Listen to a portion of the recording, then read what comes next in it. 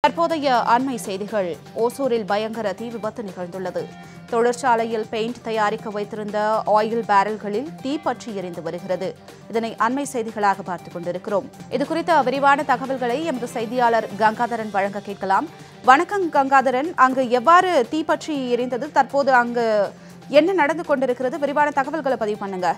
வணக்கம் ஜனனி. கிருஷ்ணகிரி மாவட்டம் ஓசூர் அருகே. ஓசூரில் உள்ள மாநகராட்சி பாரதியார் நகரில் இப்போ தனியார் நிறுவனம் தனியார் நிறுவனம் பின்புறு ஃபேக்டரி போகும்போது அந்த ஃபேக்டரியில பைன் தயாரிக்கின்ற ஆயில் பேரல் அந்த பேரல் தானாக ஒரு வெடி சத்தத்தோட வெளி வெளியே வந்து அந்த மகமராணி எழுதி கொண்டு வந்து கொண்டிருந்தது. இப்பொழுது தீயணைப்பு வீரர்கள் இருபதுக்கும் மேற்பட்டவர்கள் அதே மாதிரி வருவாய்த்துறை காவல்துறை பொதுமக்களை அப்புறப்படுத்தி கொண்டு வருகிறார். இரண்டு மணி நேரமாக போராடி கொண்டு வந்து கொண்டிருக்கின்றார் ஜனனி.